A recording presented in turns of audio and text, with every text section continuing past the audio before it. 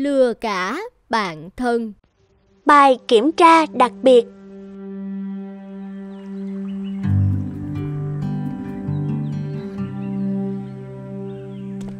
Ờ vâng. Sau khi hết tiết học tôi sẽ đến luôn.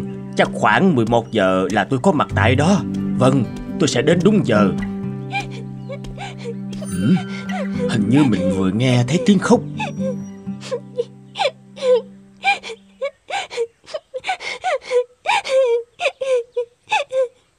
Thôi nào, sắp vào tiết học tâm lý của giáo sư Brown rồi. Nếu không thấy chúng mình, thầy sẽ hỏi đấy. Chúng mình mau vào lớp đi. Nhưng mà tớ buồn lắm Ellie ơi. Tớ không có tâm trạng nào để vào lớp học đâu. Tớ muốn ở đây một mình. Hay là cậu vào trước đi. Sao tớ có thể bỏ mặt cậu ở đây một mình được cơ chứ? Có vào thì cùng vào. Không thì tớ sẽ ở lại đây với cậu. Nhưng tớ nghĩ tốt nhất là bọn mình cùng vào lớp. Ngồi đây không giải quyết được vấn đề gì cả. Tớ muốn yên tĩnh một mình. Cậu cứ vào trước đi. Không cần lo cho tớ đâu. Ai, Nhìn cậu thế này tớ không yên tâm một chút nào cả. Nào nghe tớ. Đứng dậy đi Đừng ngồi ở đây nữa. Tớ không muốn vào.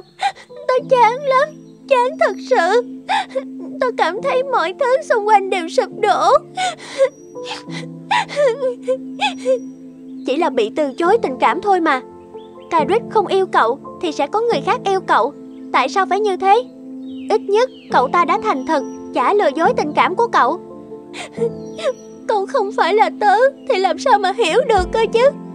Tất cả tình cảm, Hy vọng của tớ đều dành cho Carrick Cậu ấy cũng hiểu điều đó mà.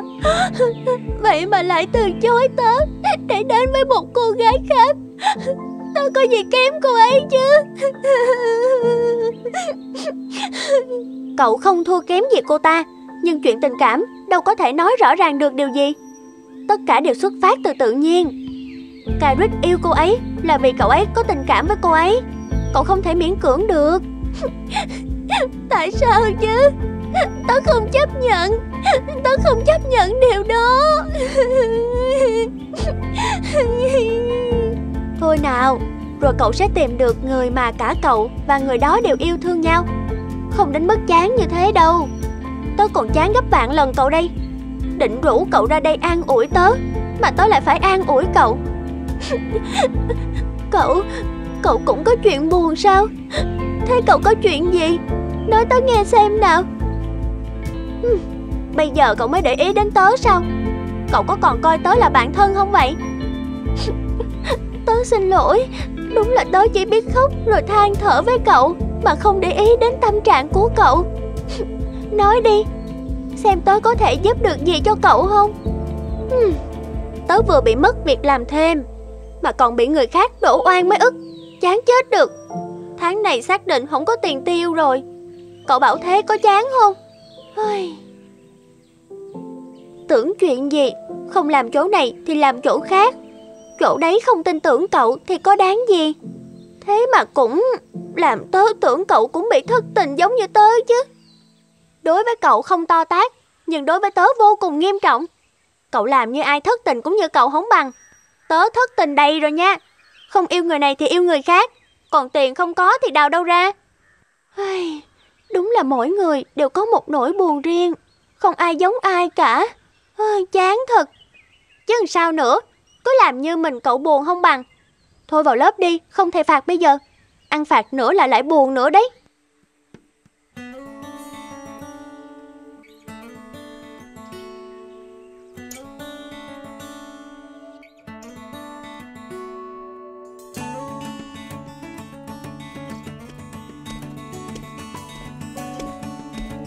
Chào, thầy Rao ạ. à.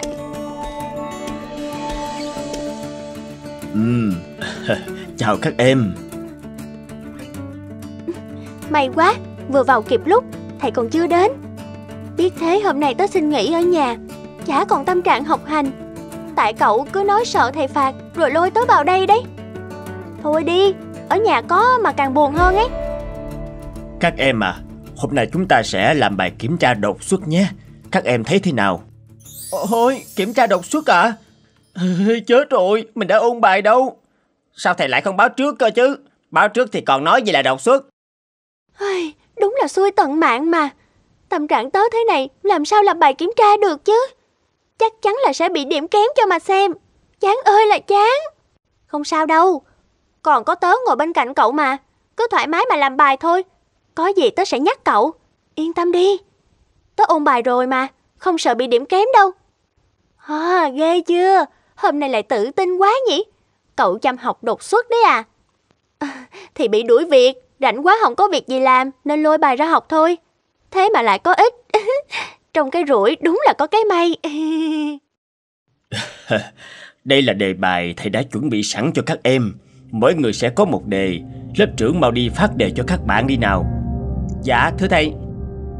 Tự nhiên thì kiểm tra, chán ghê. Hy vọng đề ra đừng khó quá, không thì chết chắc rồi. À, gì thế này? Thầy có nhầm không vậy? Đề bài kiểu gì vậy? Chỉ có một điểm đen ở giữa tờ giấy trắng tinh thế này Của cậu có như vậy không? Ờ, chẳng hiểu đề bài này có nghĩa gì Thầy muốn chúng ta làm gì vậy? Chẳng có ghi chú giải thích gì cả Biết làm thế nào đây? Các em trật tự các em đã cầm đề trên tay rồi. Thầy sẽ giải thích cho các em hiểu. Đề bài của ngày hôm nay là, Các em hãy viết về những gì mình thấy trong tờ giấy mà thầy vừa phát. Thời gian là 15 phút. Bắt đầu. Hả? Chưa từng thấy đề kiểm tra nào lạ lùng như vậy. Thôi làm bài đi. Thầy tính giờ rồi đấy. Chỉ có 15 phút thôi đấy. Thôi viết đi. Thầy nói rõ rồi đó. Viết thế nào thì viết. Dù sao cũng là đề mở. Không liên quan đến kiến thức mình học Thì còn dễ làm hơn. Hơi, Viết thì viết. Mà biết viết gì bây giờ? Hay là thôi không viết nữa. Kệ nhỉ. Làm đi Hết giờ bây giờ. Ngồi đó mà kêu ca.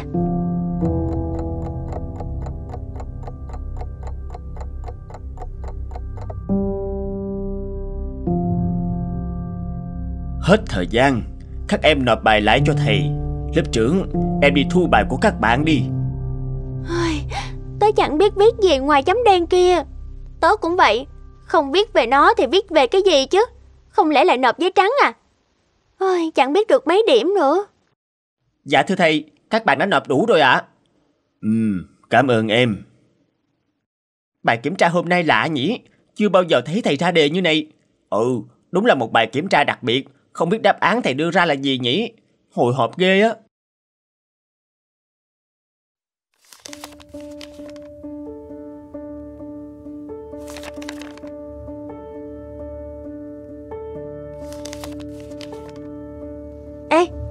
Hôm nay thầy có vẻ lạ nhỉ? Tự nhiên thì... Ôi, tôi chả quan tâm, tôi đang chán đây. Muốn ra sao thì ra, điểm kém cũng được. Ôi, cậu đúng là Thầy vừa đọc qua một lượt bài của các em Tất cả đều có một điểm chung Các em có biết là gì không? Điểm chung là gì thế thưa thầy? Đề bài thầy đưa ra là hãy mô tả những gì mà các em nhìn thấy trên tờ giấy này và hầu như tất cả các em đều mô tả về chấm đen trên trang giấy Ồ thì đúng rồi Trên giấy ngoài chấm đen thì còn gì nữa Thầy còn có ý gì khác sao? Các em nghĩ trên trang giấy này không còn gì khác ngoài chấm đen sao? Hãy thử quan sát kỹ xem nào. Em chẳng thấy gì ngoài chấm đen cả. Đúng, có khác gì đâu. Ngoài chấm đen, trên trang giấy này còn có cả phần màu trắng mà các em không nhìn ra sao? Ồ, đúng rồi. Vậy tại sao trong số các em không ai viết về phần trắng của trang giấy thế? Nó mới là chủ đạo cơ mà. Ai cũng tập trung vào một chấm đen dù nó không đáng kể gì so với cả trang giấy Lớp trưởng, em nói xem ờ, Thưa thầy, em em cũng không biết ạ à. Chẳng hiểu sao lúc đó em chẳng nhìn thấy gì ngoài chấm đen Nên chỉ tập trung viết về nó thôi ạ à. Alisa, em thì sao? Em có thấy không? À, em... Em chỉ thấy chấm đen nổi bật nhất trong mắt mình thôi ạ à. Ngoài ra em cũng không để ý đến những phần khác Đó không phải là cách nhìn của riêng hai em Mà tất cả lớp chúng ta đều như thế Các em cũng không sai Bởi vì chúng ta hành động theo tâm lý số đông Thế là sao ạ thưa thầy Chúng em vẫn chưa hiểu thầy đang muốn nói điều gì. Cuộc sống cũng như tờ giấy này Điểm đen là những vấn đề đang làm phiền chúng ta Khiến chúng ta phải bận tâm như những rắc rối trong chuyện tình cảm Tiền bạc, mối quan hệ với bạn bè, gia đình Còn lại chính là những khoảng trắng. Chúng ta có một tờ giấy với rất nhiều khoảng trắng dễ chịu, thoải mái Nhưng chúng ta lại chỉ chăm chăm nhìn vào điểm đen duy nhất trên trang giấy. Chứng tỏ điểm đen này chiếm phần lớn trong tâm trí của các em. Các em cần phải nhận ra rằng Chấm đen này thực sự rất nhỏ và không đáng kể. Hãy đừng để tâm đến nó nữa. Hãy rời mắt khỏi nó để đến với những khoảng trắng bao la kia.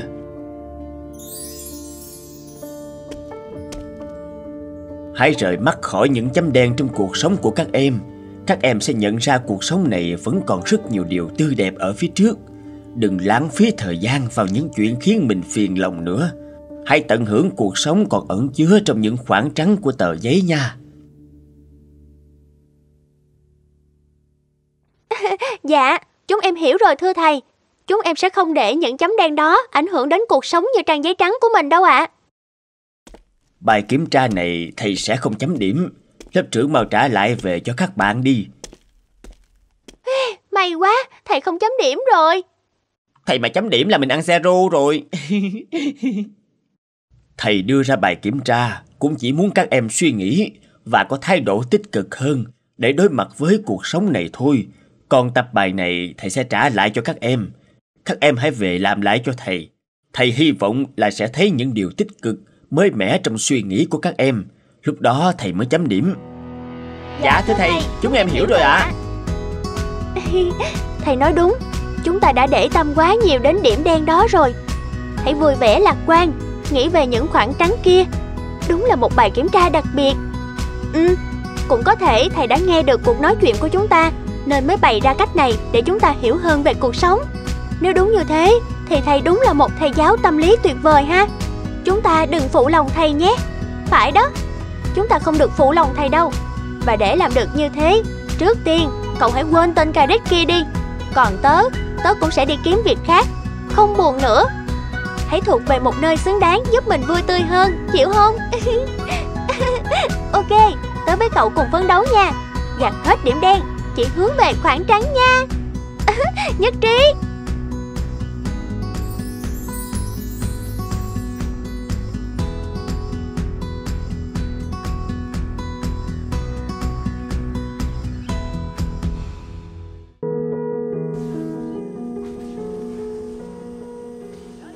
Jim, con đã học bài xong chưa? Bà ngồi xem phim hoạt hình thế. Mẹ nhớ, ngày mai con có tiết kiểm tra đó. Vậy mà mấy hôm nay mẹ không thấy con ôn bài gì cả. Chỉ dành thời gian vào chơi bời thôi à. Dạ, con xem một tí, rồi lát con sẽ đi học ngay. Mấy bài đó dễ ẹc à Chỉ cần con học một chút là sẽ nhớ được ngay. Mẹ không cần phải lo đâu ạ. À. Nhớ, sắp xếp sách vở cho ngày mai. Mẹ thấy hôm nào con cũng dậy muộn Rồi lúc quên này quên cái kia cho xem. Giờ mẹ phải qua nhà bác John có việc. Con và chị Marie ngủ trước đi nhé. Mẹ sẽ về muộn đó. Vâng, con nhớ rồi mà. Con sẽ chuẩn bị thật tốt cho bài kiểm tra ngày mai. Tạm biệt mẹ. Ôi, phiên hoạt hình này hay quá đi mất. Xem nốt chút này Rồi mình sẽ ôn bài kiểm tra ngay. Chỉ một chút nữa thôi. Trời ơi Jim, muộn lắm rồi đấy, em có biết không? Em đi ngủ ngay Không mẹ mà về là thế nào cũng ăn đòn đó. Nhưng mà em đang xem võ Em còn một chút nữa là hết phim rồi. Tắt tivi ngay. Em không biết nghe lời mẹ và chị gì cả.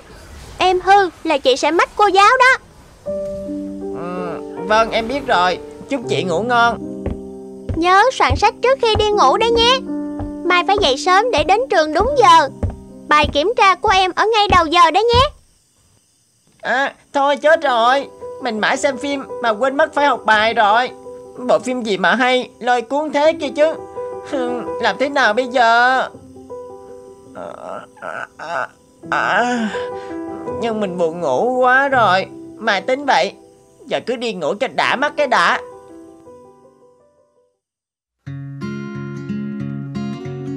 Ừ, Cậu đã học thuộc bài tập đọc chưa?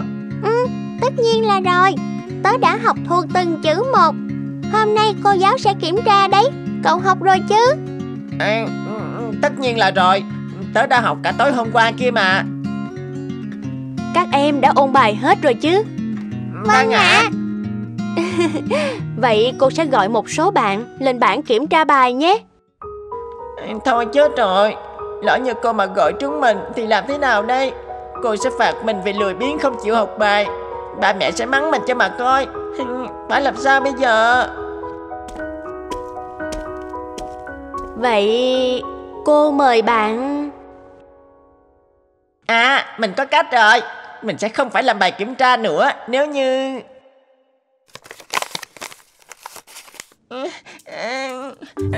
Tôi cô Em đau răng quá. Đau quá à.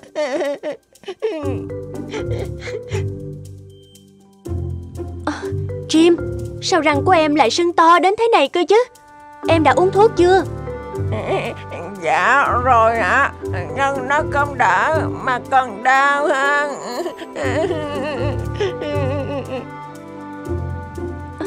Chết thật Chắc em bị sốt rồi. Mồ hôi ra nhiều quá. Có bạn nào có thể đưa Jim về nhà không? Cứ ngồi ở đây Sợ rằng bạn sẽ sốt cao hơn mất. Em ở gần nhà Jim Em có thể đưa bạn về nhà ạ. Em ạ. à, Em là con trai Sẽ đỡ bạn được trên đường về. Lầu ra trông yếu ớt thế kia Sợ không dìu được chim đâu ạ.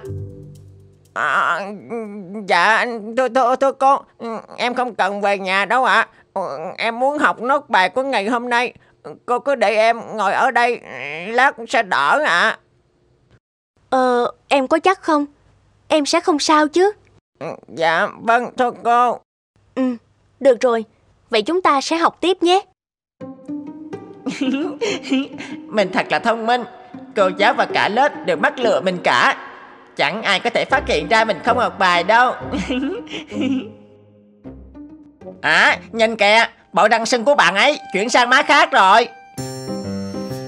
Jim Em hãy giải thích chuyện này cho cô. Em đã nói dối cô phải không? À, Em Em xin lỗi cô.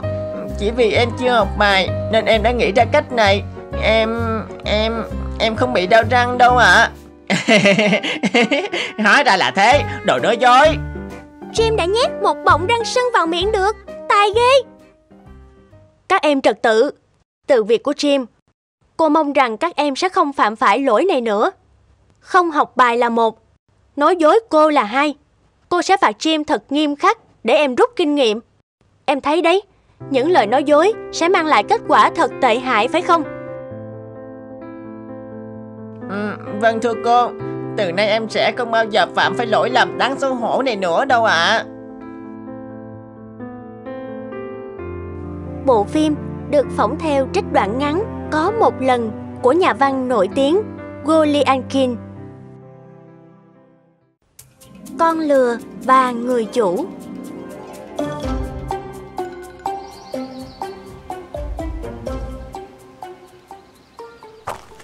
Nào, về nhà thôi, Trời sắp tối rồi.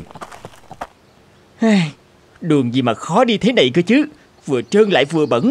Mình mà không đi cẩn thận, Lại trượt chân ngã thì chết. Ờ Mày đi đâu đấy? Đường về ở đây cơ mà. Cứ đi linh tinh vậy hả? Con muốn về nhà không đi Đã cố tình chọn đường dễ đi rồi, Mà lão ta vẫn bắt mình đi theo con đường trơn trượt này. Đúng là một gã độc ác, ích kỷ. Chỉ biết nghĩ đến bản thân mình mà. Mình mà chết ra đây Thì lão ta sung sướng lắm đấy. Đường trơn đấy Đi cẩn thận vào. Một lúc thôi là về đến nhà rồi. Cố gắng chịu khó một chút đi. Khi nào về đến nhà Tao sẽ chiêu đãi mày một bữa thật linh đình để bù lại. Thế là được chứ gì? Cái lão này Lại nói thế để dụ mình đây mà. Bình thường lão keo kiệt thế nào? Chẳng lẽ tôi lại không biết hay sao? Làm gì có chuyện Lão đãi tôi một bữa thật ngon cơ chứ? Muốn dụ tôi thì có. Sao bao đường không đi? Cứ bắt mình đi vào đường trơn trượt chứ. Đau hết cả chân. Nào, đi thôi. Sao lại ì ra đấy thế hả? Tao nói gì mày có hiểu không đấy? Đường trơn một chút, Nhưng nó là con đường duy nhất để về nhà rồi. Không còn con đường nào khác đâu. Cố lên nào. Bữa ngon đang chờ chúng ta ở nhà đấy. Ôi trời ơi, Đừng lấy món ăn ra mà dụ tôi nữa. Tôi biết tổng rồi. Mà kể cả có các món ngon thật Thì cũng không thể bù lại cho cái chân đau của tôi được đâu. Tôi chỉ muốn về nhà ngay lập tức thôi. Ờ hay, cái con lừa này. Tao đã nói như thế rồi Mà mày vẫn còn không chịu bước đi vậy. Con muốn tao cho mấy roi vào mông không? Đi nhanh lên nào. Tại sao mình cứ phải đi theo sự chỉ đạo của ông ta nhỉ? Tại sao mình không tự đi con đường riêng của mình chứ? Miễn về đến nhà là được chứ gì? Để xem nào. Làm gì có chuyện, không còn con đường nào khác về nhà. Chắc lão ta cố tình nói vậy, Để ép mình phải đi theo lão. Để hành hạ mình đây mà.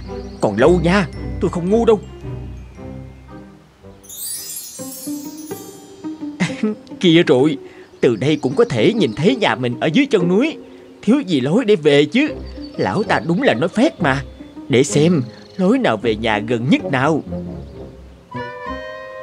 Kia rồi Lối gần nhất chỉ ở dưới bờ vách đá kia thôi. Mình chỉ cần nhảy xuống đó là có thể về được nhà rồi. Cần gì phải đi theo lão già này cơ chứ. Lão ấy bắt mình đi theo đường vòng Vừa xa lại vừa trơn và bẩn. Ủa, ờ, chuyện gì thế này? Mày định làm gì thế hả? Nguy hiểm lắm. Mau quay lại đây đi.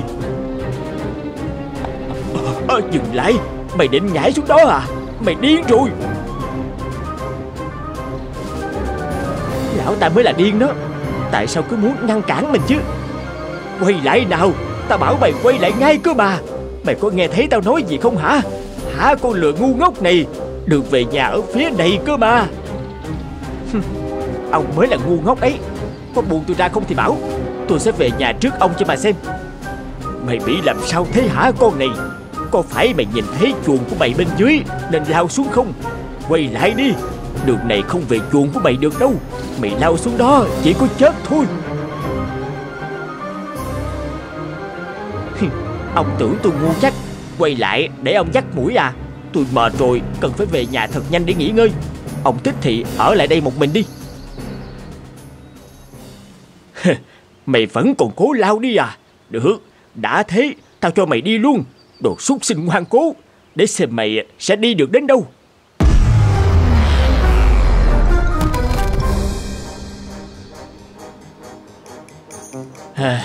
Đúng là con lừa. Phàm những kẻ không chịu lắng nghe, Điều hay lẽ phải, Mà cứ ngoan cố làm theo ý mình, Sẽ phải chuốc lấy tai họa. Mày đã được về nhà Một cách nhanh nhất theo ý mày rồi đấy. Nhưng thực thiết là Không sống nổi thôi. Đáng đời.